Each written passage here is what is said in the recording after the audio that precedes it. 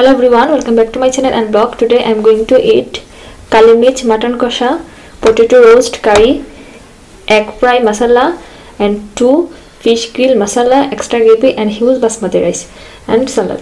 So let's start eating. Follow my facebook page link in the description box